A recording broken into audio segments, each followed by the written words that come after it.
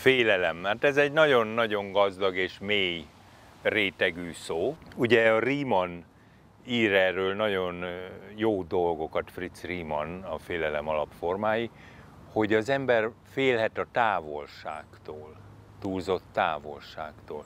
Félhet attól, hogy egyedül marad, de félhet a túlzott közelségtől, attól, hogy birtokba veszik, hogy uralkodnak rajta. Félhet a változásoktól, hogy soha semmi nem biztos. És félhet attól, hogy, hogy hát el, halálra unom magam, hát, hát a, az állandó dolgok megőrítenek, hát így nem lehet élni. Tehát az állandóságtól, változástól, közelségtől, távolságtól való félelem, de ez egy külön terület, amit ő nagyon jól leír és nagyon használható. De a félelem azért nagyon fontos, mert egy nagyon ősi mozdulatunk, nagyon ősi nem is mozdulat, reakciónk, még a több millió évvel ezelőttről. Ugye amikor a még sokkal egyszerűbb biológiai képletekként éltünk, amikor bármilyen új impulzus, ismeretlen impulzus, azt jelentette, hogy menekülnünk kell, vagy támadni. És azonnal kellett ez az üs vagy fuss, támadj vagy menekülj. Reakció, ennek az lényege, hogy minden energiánkat összeszedjük ilyenkor. Tehát a végsőkig képesek vagyunk, és ezt látjuk is, egész kicsi állat, mikor sarokba szorítják, akkor neki tud támadni a nagyobb állatnak. És, de látjuk, amikor ugye a félelem a, a fájdalmat, a stressz a fájdalmat szinte megszünteti, és, és küzdenek, de óriási erő van bennünk. Ez az erő azért nagyon fontos, mert ilyenkor építjük föl az életünk képeit.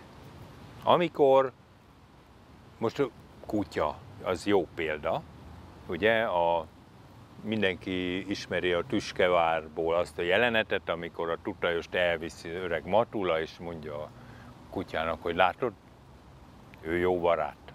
Na, dugja oda a kezit, hagyja, hogy megszagolja.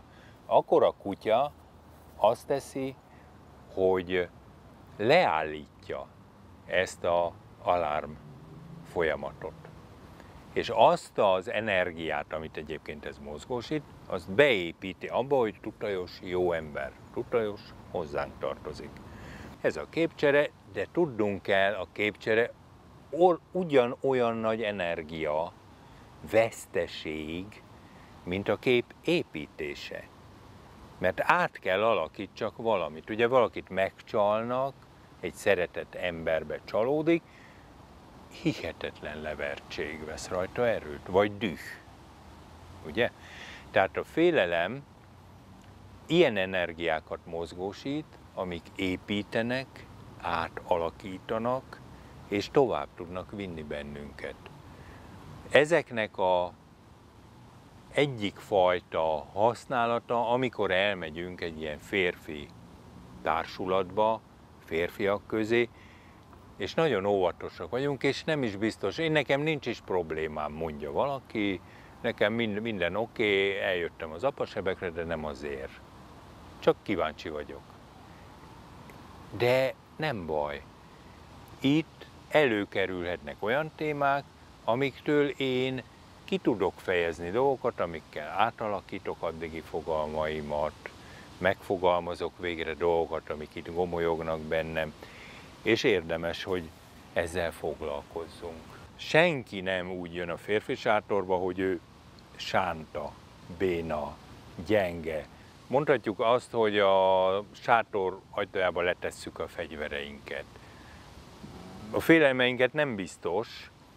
A férfi sátorban nagyon fontos, hogy mindenki király, tiszteletre méltó, és van egy birodalma, egy családja, még ha csonka család is, még hogyha ilyen vagy olyan, és még nem nősült meg, akkor is ő valaki, neki méltósága van.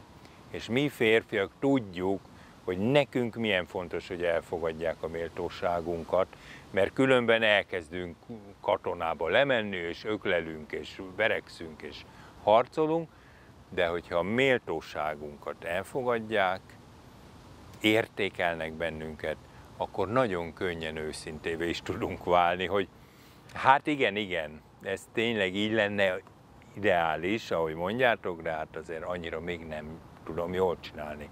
De soha nem vagyunk erre se kötelezve, se rákényszerítve a sátorba, vagy az elvonulásokon. Aki nem akar, nem szól semmit, mert elsőre lehet, hogy neki az a nagy felszabadulás, hogy meghallja, hogy másnak is van problémája.